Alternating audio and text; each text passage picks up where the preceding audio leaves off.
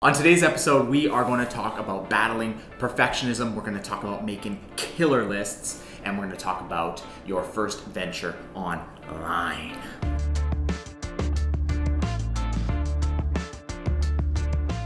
Cool. Well, episode. Why am I so bad at this? 18. 18. What would I do without you, Danny? Episode 18. We've got a few topics today. We're going to move through them pretty quickly um, because I want to get to jiu-jitsu. I leave for Puerto Rico today. Um, it'll be gone for a week. Speaking of which, office hours probably won't happen this week. Mind you, you'll probably watch this after office hours anyway, so that really doesn't uh, matter anyways. Still gonna try and get a few things done. Gonna try and get a couple of other other videos done before I leave, but uh, beyond that, I will be pretty much offline for about a week. Danny, do you wanna you wanna go ahead and jump into the first question and just get it done? This is a question from you, so I want you to uh, elaborate on it a little bit Sure if, uh, if if you're cool with that. Tell us why you came up with the, the question. So the question is, can you go over how to deal with perfectionism? I've always been a been a perfectionist. Mhm. I've never liked to make mistakes, so it's always hard to, you know, let things be with business and with life. I just want to find out what your take is on that. Like, how, if you've ever encountered perfectionism in, in your in your life, how do you deal with it with business, like relationships? So it's not just specific to um, to your business. It's it's Yeah. is it like is it like OCD level perfectionism or is it just like don't I, want it to be the I best possible and it's kind of like analysis Sure, paralysis like, type thing. For instance, it's hard to take criticism, Yeah, you know, and it's hard. being a creative, I'm sure Yeah, that that makes it even tougher yeah. because it's like you pour your like heart and soul Yeah. and, and not to mention you, you know the, the time and the sweat and the Yeah. yeah And a big one is just fear fearing failure. Mhm. And I feel like with business, that shouldn't matter because you'll fail a lot in business. Yes. And so it's hard for me to take that leap, you know, to handle that. I think that's my biggest question. Well, I think um, there's there's a couple of schools of thought on the failure thing. Um, people say fail fast and fail often, and then there are another sort of school of thinkers that say, um, "What are you doing embracing failure? Do better." Essentially, and I'm probably kind of doing a, a crap job of explaining that second one, but essentially, like there, there seems to be this culture around um, around failing um, and being good at failing and failing lots and and uh, the other school of thinkers say well you know why, you don't have to fail. You can just do a, really good job. My perspective is I, I am I am a little bit OCD about things but it, that's more non-business related things. So things in my in my day-to-day life just a good example would be my desk at home like my work desk. Uh, if there are cords sticking out or anything like that I can't work. Like it just drives me absolutely insane. But um, as far as work is concerned, I think I think it's pretty well understood. There's no such thing as, as perfect. I think we try to we can try to get close. I think it's also important to understand that to whom is it perfect, right? It's not the product isn't necessarily for yourself. Whatever it is that you're you're creating for someone, it's you're creating it for someone, and they may not necessarily have the expectation of of perfectionism. They, like everyone else, may understand that there's not something called perfect. And so perhaps what you need to do, Danny, is just be a little bit more realistic, both in your personal expectations, but also in the expectations or the the expectations that you you give people. Um, for example, a client. You, I'm sure you've heard that um, that saying, um, "Under promise, over deliver," kind of thing. Have you ever heard that? It's kind of like where you go in with something super realistic, knowing full well you are going to smash all that to pieces and do a way better job than what Right. they had kind of expected. So they get this very this very realistic quote or um, whatever, and they're very happy with that. And that, but but knowing uh, you knowing that this is the bare minimum that you can provide, and you're going to smash that to pieces and do way better, and they're going to leave so stoked. In their mind, it's going to be perfect. And while I think we need to make ourselves happy, at the end of the day, it's if if it's always about making yourself happy, being you being happy with the product despite what the customer thinks, you'll never be happy. You'll constantly uh, your projects will be late, and then and then it's not only going to be you unhappy, it's going to be the client unhappy too. So you kind of have to pick sides a little bit what I find um, it's a little bit of a dichotomy is I want to deliver as good as possible, but I also want to ship as quickly as possible as well. So I, I, I can't I can't have both. I have to pick one, and the one that I tend to pick is um, shipping quickly. So getting something to market or um, getting something in a customer's or prospective customer's hand as quickly as possible so that then they can critique because you you may spend all this time and this this was something that uh, I was reading about in the book Sprint you may spend all this time making something perfect thinking it's perfect right but it's perfect for you it's perfect for your team but what about the customer did you ask the right questions uh, from the customer ship something quick get it in their hands right away and start asking the right questions. And you'll get to perfect a hell of a lot quicker if you just sort of use your own assumptions and try to reach that perfection. So there is a bit of a dichotomy, but I think um, I think the way that I reconcile that is I just I know that I I don't know what's best. The customer knows what's best. So I I, I, focus on the customer. I don't worry too much about myself. I focus on um, who's going to be paying um, paying my bills essentially, and and that's good enough for me. Because otherwise, um, I, just I, I won't end up delivering anything. And when I do, it may not even be any good. And how's that going to feel for me? I'd rather work with the customer and, and get it as close to perfect for them as possible, and that's where I'm going to get happiness. Does that, that make a little bit of sense? It does actually. Yeah. Because then it takes the pressure off me Focus on someone else. Exactly. Yeah, yeah. You know, Whether, and that doesn't have to be exclusively to business. That could be a, a girlfriend. Focus on them. And and and generally speaking, I've found if you focus on, um, don't forget about yourself, but focus a little bit more on them, you'll end up being happy because they're happy. You know, in part anyway. So. Um, Love it. Let's move yeah. on. Great. Cool.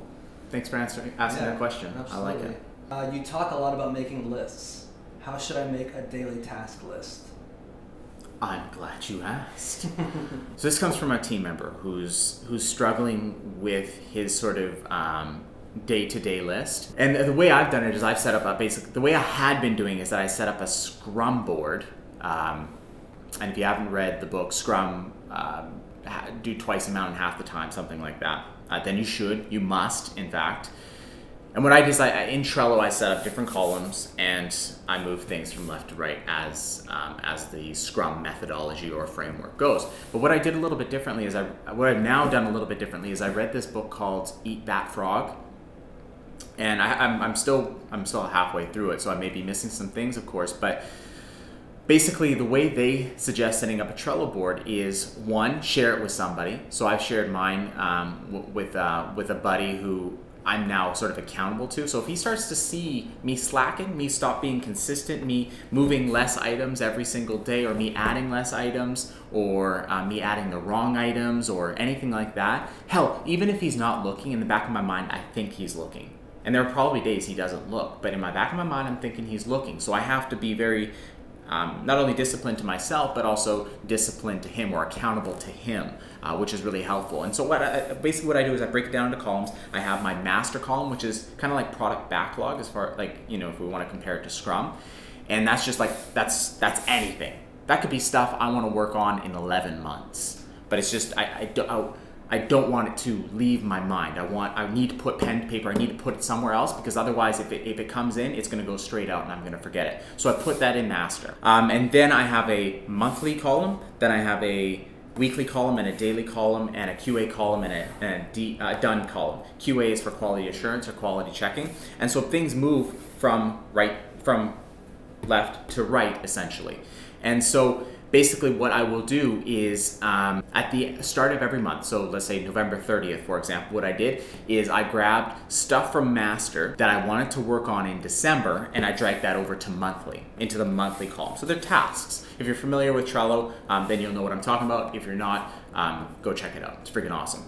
And so now I've got sort of this is what I'm going to work on in the month. And then let's just say it's Sunday. It, let's just say the 30th is a Sunday, right? 30th of November is a Sunday. So on that Sunday, now I'm planning what my next week is going to look like. And this is important. This is critical. You have to plan. They say that for every 10 minutes of planning you do, you can save t- uh, up to like two hours of actual execution the next day. So you absolutely must plan the day before. And lists are a great way to doing that. So um, then, so from my monthly list on that Sunday, I'm going to drag whatever I'm going to do next week. So from Monday to the next Sunday, or let's say Monday to Friday, or whatever. And then the day before, uh, the day before, and I guess this could be Sunday. Again, it, it doesn't matter. It could be Monday, um, and I'm dragging it in for Tuesday, or Tuesday dragging it in for Wednesday. Uh, I'm then going to grab stuff from weekly, and I'm going to drag that into uh, the daily column. And now all I have to do essentially is prioritize. And what I what the book Eat That Frog suggests that I do is prioritize it by the biggest and ugliest frog first. And what they mean by that is they want you to put the most difficult, the most nasty, the most ugly, the most time consuming, the most um, thought uh, th- um, thought consuming task first because it is understood that that task, the one that you are avoiding, the one that you are procrastinating, is the one that is going to be the most impactful on your day. So drag that one um, up to the very top of that list and then just basically prioritize uh, from largest, ugliest frog to smallest frogs. And, and you'll find at the bottom of your list, you start looking at some of these smaller frogs, which are tasks essentially.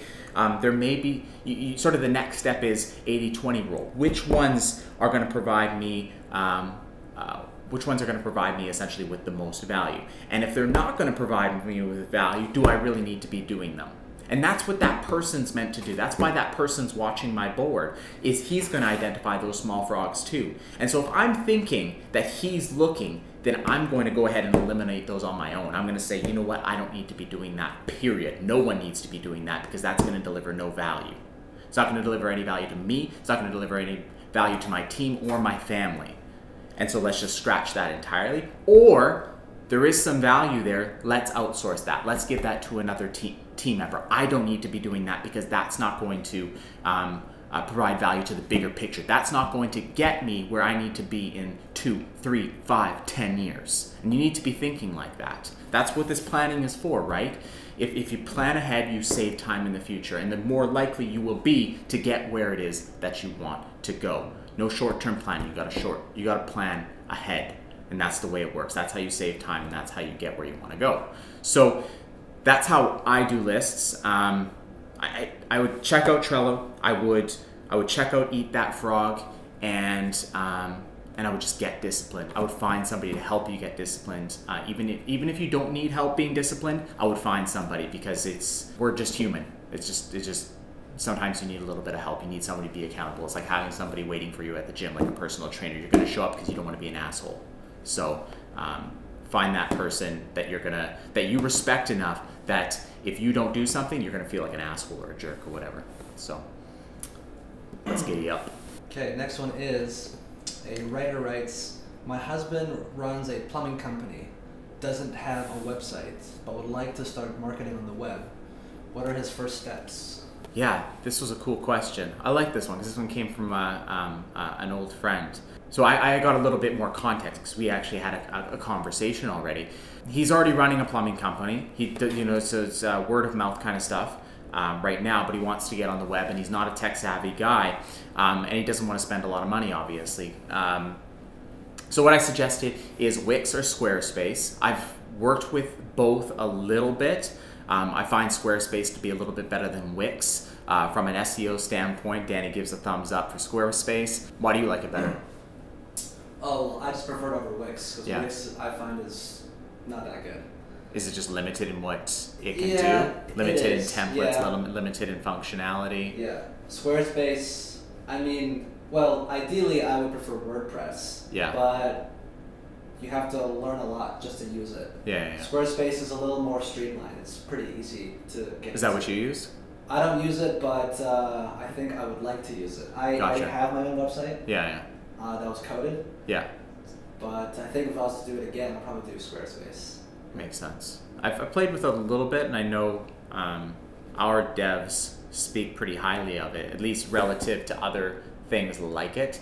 Um, so that would be the first thing. It's low cost. I, I, I don't remember exactly how much a month it costs. I would like to say like twenty bucks, something like that. Does that I sound think it's about right? like eight to ten dollars. Oh, okay, so super Yeah. super cheap. You can build a website, right? Like it, it's it's not hard, and that's I, hell. That's how I built my first. Not with Squarespace, but with something um, much crappier.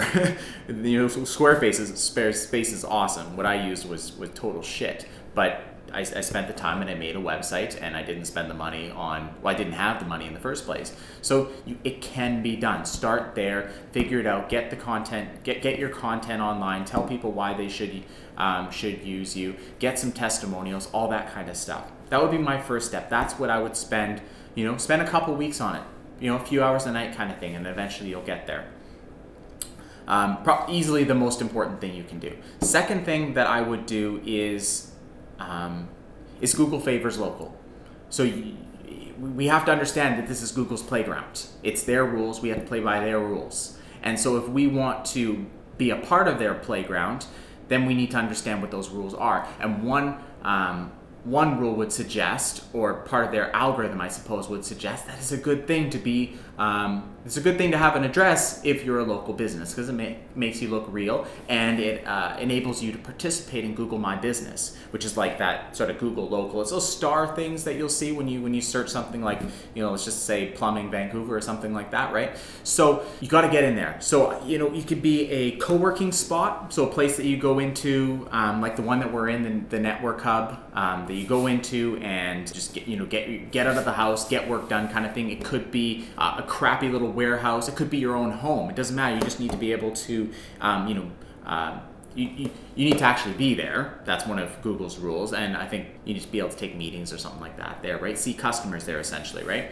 Um, get an address, get a Google My Business page, and that, that I would say that's that's step two. The next thing is the next thing I would say is probably citation building and link building. Citation being citations generally being you know get in Yelp super pages and yellow pages and white pages and local.com and and and um, Angie's list and Judy's book and I mean you just search online um, citation list or local business directory submission list.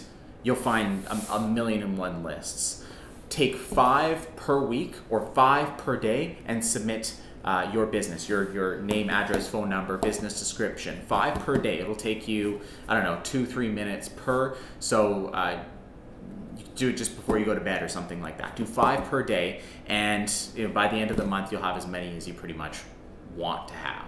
Period. And then the next thing that I would focus on is links. As I mentioned, um, you know somebody with a website. Like generally speaking, people know somebody with a website. It might be a supplier, it might be a vendor, it may be a friend, it may be um, somebody you know that has a website and they're looking for a testimonial. Maybe you use their services once upon a time, could be years ago. You ask them, hey, um, really liked your services. Do you want a testimonial in exchange for a link back from that testimonial to my website? Try and get two, three per week kind of thing. And if you can just do that, you- you're going places already. If you can just create a website, get on Google My Business with an address, and start creating links and citations, that's that's what you're going to pay an, uh, a search engine optimization expert for, essentially. I mean, they might be able to do it a little bit better. They'll be able to do it at scale, um, and they'll probably be able to do it a little bit faster. But if you don't have the budget, what are you going to do? You're not going to sit on your ass and hope that if you build it, they'll come because they won't come. They generally will not come unless you are, um, you know, just a, an absolute business superstar and you have just the most amazing product. But plumbing is kind of plumbing. Like honestly, I don't know what, what you're going to do to um, make plumbing more than plumbing, right? So just just start putting in the time. Just an hour a day, two hours a day. That's all. That's all you really have to do to do all of those few things that I mentioned. And then, if you have a little bit of time left over, start learning a little bit more about SEO. Uh, Moz, M-O-Z.com has a lot of sort of beginner, ba- you know, basic um, um, guides. Again, just you know, spend 30 minutes a day reading those guides and start you know trying to apply those things as you go. Um, and, and, and with that, you don't have to hire a web designer. You don't have to hire a web developer. You don't have to hire uh, um, an SEO. Um, you, you can you can make slow gains just doing that. That's it. So, and, and let's let's um, let's let's wrap it up there because I like I said I got to go to jujitsu. So, um, very quickly, uh, I would love your questions. Um, thank you, Danny, again for your question. I appreciate it very much. Um, give me your questions. Twitter, uh, Instagram. Um, Danny, you'll post the links. Um, ask it on YouTube. Ask it on Facebook. It doesn't matter. I'm I'm there. I'm listening, and I'm I'd be stoked to to answer them. Hell, even just send me an email, Adam at magistrateinc.com. Be very happy to receive and reply same day, and uh, and help you out in whatever way I can. Um, other than that, um, subscribe if you haven't already. if you're listening to our podcast, subscribe and or leave a little testimonial or review there. That would be much appreciated. But otherwise, um, have a great week. This has been episode 8. Was 18, 17? This is episode 18. 18. So we'll be at 20 in no time. Thank you everyone for your attention, for your time, and uh, have a phenomenal week.